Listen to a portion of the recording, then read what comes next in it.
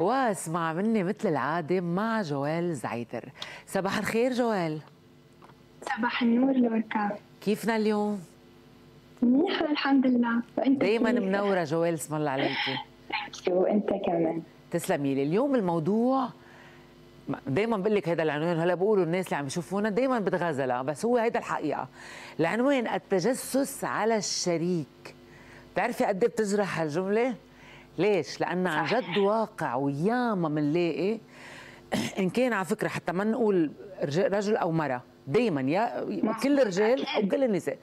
هيدا الشيء كثير عام يعني ممكن يحدث هون وممكن يحدث هون.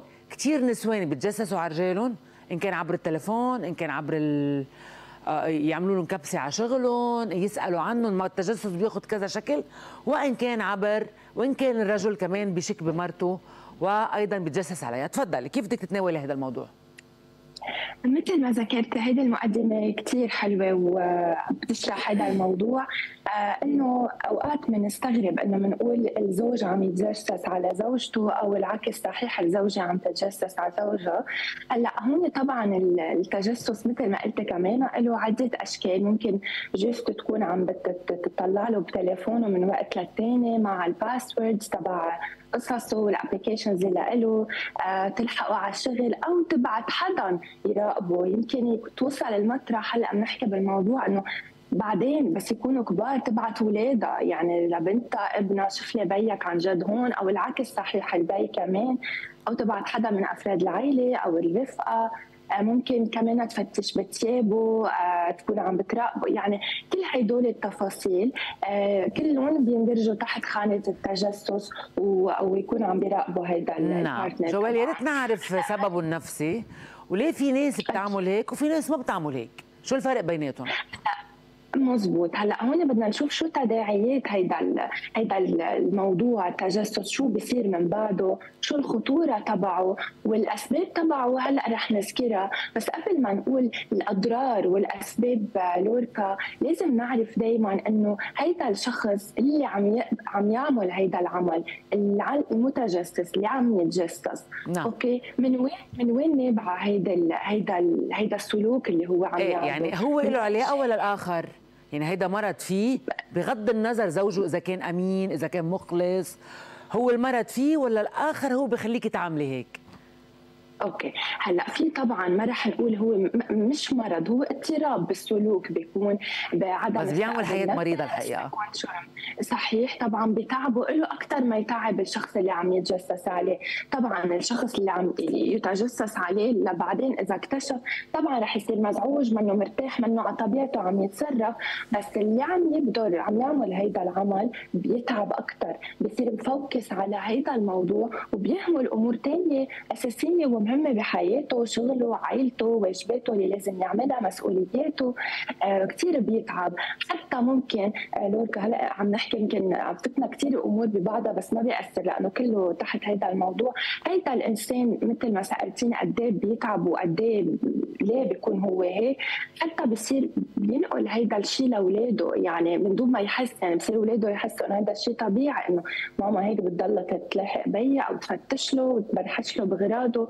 والعكس صحيح آه، أو يعني حتى كأنه من طبعا حتى جوال ربما بالنسبة للاولاد سوري عم بقاطعك بنورتهم آه ساعتها من خلال شو عم بيتربوا هيدي الفكرة بنورتهم يعني بيطلعوا أولادنا يا مثلنا يا عكسنا كليا يعني يا عكسنا لأنه رافضين الفكرة وعاشوا مشاكلها يا مثلنا لأنه ورثوها عنا فاعتبروها صح وعلى الميلتين هيدا الشيء غلط. طبعا. وبنفس الوقت طبعا هالميلتين هذا الشيء غلط؟ وحتى بس ينكشف رح يحسس هالبارتنر تبعه بعدم الثقة ويرجعوا لمرحله الصفر مثل من أول ما بلشوا يبنوا هيدي العلاقة سوا. so كثير لها مخاطر طبعا. لازم نعرف هذا السلوك مثل ما كنت عم أقول من وين نابع من وين جاي ومفروض إنه يكون جاي من فكرة مقلقة أو أو أو حدث مقلق خليه هذا الشخص يكون عنده خوف يكون عنده قلق يكون عنده عدم ارتياح. نعم. يعني مش معقول لوركا يجي هيدا الشخص يكون هيك out of nowhere يكون آه، عنده قلق. بس طبعا مش معناتها الكل هيك. طبعا في أشخاص هي منها لحالها بتبقى حتى مثل ما قلت أنت البارتنر تبعها بيكون كثير آه، ما عم يتصرف شيء غريب كثير طبيعي. بس هيك عندهم عدم ارتياح وعندهم هيدا الشعور فاذا فإذا إذا بدي أختصر اللي عم تقوليه في في أشخاص بيكون عندهم هذا الاضطراب بغض النظر عن شريك. هذا الشيء نابع من طفولتهم ربما من نظرتهم لنفسهم ثقتهم بحالهم صحيح. ومرايتهم كيف يشوفوا حالهم. وشيء معلق بالشريك إنه هو شخص ما بينوثق فيه أو بيوحي إنه بيعمل شيء أو إنه هو عنده حركات ما بيطمن شريكه. فيا هيك يا هيك. يعني إذا partner بضل مثلا إنه إذا مثلا رن التليفون بخبيه أو كل شوي بغير ال password أو غراضه ممنوع حدا يدقرهم تليفوني ممنوع حدا يمسكه.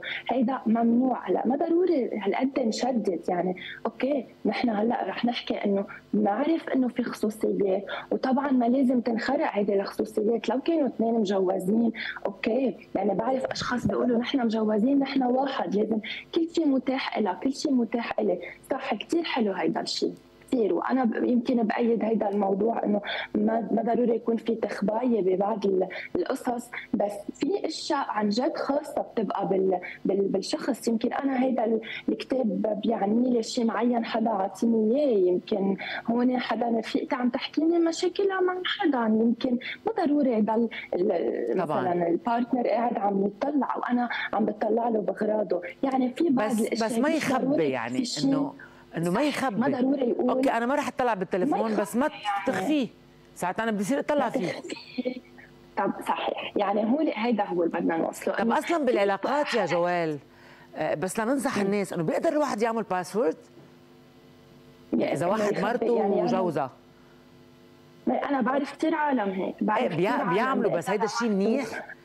إنه منيح ولا مش لازم؟ ليك هو هو لوركا هيدا صراحة قرار شخصي. يعني منه شيء مثلا بالاضطراب لحتى نقدر نكون عم ننصح أنا وياك حتى هالعالم. يمكن أنت يكون عندك رأي بهذا الموضوع وأنا عندي رأي شخصي كيف بعمله بحياتي. أنا طبعا هو مش غلط إنه شو؟ أنا رأيي بهالموضوع إنه إذا بدك رأيي أنا رأيي كثير بتعرفي بروح على التطرف. أنا مرة حطيت أغنية يعني إذا رنيتي لي بتطلع لك أغنية؟ عادة مش هيك إذا رنيتي حطيت أغنية أعطيني حريتي أطلق يدي تبعت أم كلثوم؟ صار في مشكل كبير عريض عليها إنه هيدا الشريك يعتبرها ضده. عرفت؟ لهالدرجة يعني. فكيف إذا باسورد فما بعرف هو بده يصير في اتفاق بين الاثنين. بده يصير في اتفاق بده يكون في ارتياح بين الشخصين لوركا. يعني قد إيه أنا بكون مريحة ال partner اللي لإلي والعكس صحيح. قد إيه هيدا الشيء بيكون منه يعني مثلا مش إنه مثلا أنا حاطة هلأ كلها كلنا عندنا باسوردات للتليفون. بس إنه يمكن هو بحاجة يمكن يصورني بالتليفون يمكن بحاجة يشوف شيء بالتليفون صور شيء معين إنه أعطيني please ال password مش لا أوعى وما بيسوى هول الحركات اللي بيصيروا أوعى أو باخذ وبخبي التليفون مثل ما كنت عم هون خلص ماشي أكيد هون وقع الشك ووقع الظن وإذا المرأة مطمنة بتصير بطل مطمنه أو بالعكس يعني. صحيح ما في مجال. عبالي غير هذا ال password وأنا بجي بقول له إنه آه خلص غيرته وإنه ممنوع تدقر وممنوع هيك. بعرف كثير عالم هيك. so هون لوركا لنرجع للموضوع.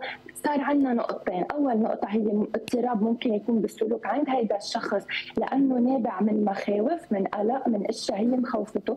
عدم ثقة بحاله تعرض ل ل he was betrayed قبل تعرض للطعن أو الخيانة من قبل آه إيه فصار عنده مشاكل يعني لا يلام على هيدا الشغلة أو ال partner الثاني من الناحية الثانية عم يعمل تصرفات بتستدعي إنه بتستدعي الشك صحيح إنه يكون صح هلا هون شو بده يصير لوركا لنقول وقعت الواقعه وصارت صار كثير مثل ما قلنا عم يتجسس عليه عم يتعب هيدا الشخص.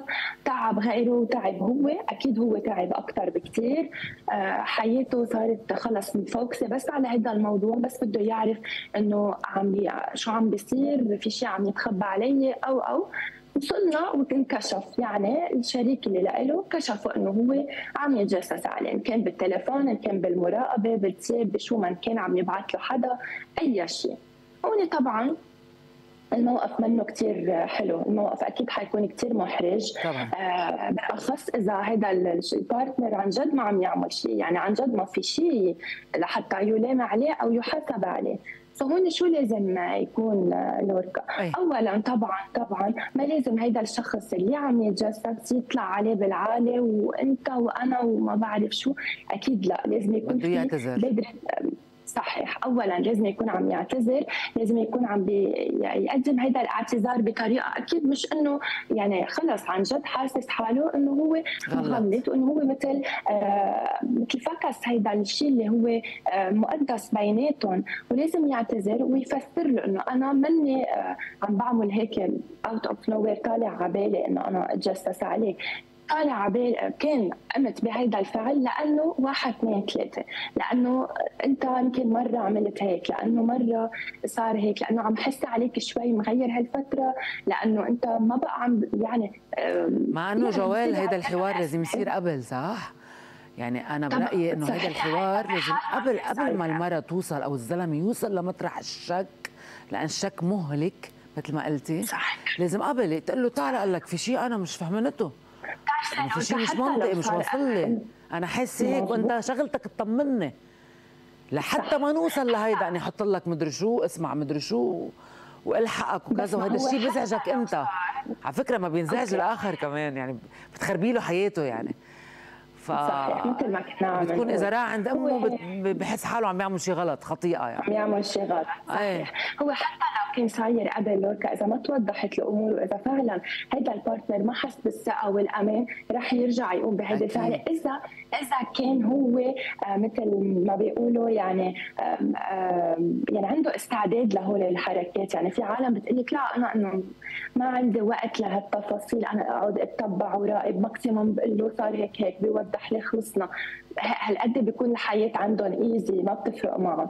في أشخاص تانيين لا بدهم يعرفوا بدهم آه، لا لا لا لا لا أسباب معينة بحالهم مثل نعم. ما قلنا يا عدم ثقة بغيرهم يا عدم ثقة بنفسهم آه، وهون مثل ما قلنا لازم يكون في اعتذار وحسب وهلا الدور شو بيوقع على الطرف الثاني لازم يكون عنده النضوج والوعي وال- والكافي إنه يقدر عن نعم. جد يستوعب هيدا البارتنر إنه التصرف نابع من خوف من. قلق لازم أنا أحتوي هيدا الموضوع ولازم أنا أعرف ساعده واشرح له وطمنه مثل الكلمة اللي أنت قلتيها نعم. اللي هي أساسية. كثير مهم اللي عم تقوليه جوال. عن جد شكرا جزيلا. بقى مضطرة أنهي بس كمان ذكرتيني بركة. ب- بجملة بيقولها أظن شمس التبريزي أنه لا تقترب حين تنبهر اقترب حين تطمئن. تطمئن. فالاطمئنان ربما هو يعني الهدف الأسمى وال وال والأخير والأبدي بحياتنا. إنه أنا بدي أطمئن لشخص لكون. صديقته لكون صح. حبيبته لكي لكون مرته بدي أطمئن لعملي لكون بقلبه فالاطمئنان كثير مهم والاطمئنان بيجي من جواتنا وكمان من الآخر اللي عايش بوجهنا بظن هذا الموضوع بيحتمل حلقة تانية جوال ما بعرف آه كيف ممكن إن. يعني كيف ممكن نطمن الآخر كيف ممكن نعالج فكرة الوسواس أوقات بيدخل الأو سي دي. بالموضوع إيه يعني يا ريت نرجع نكفيه بدي أشكرك كثير. جوال على. هالفكره الحلوة وعلى هال لكل شيء قلتيه وبتتمنى لك أسبوع لطيف. شكرا جزيلا.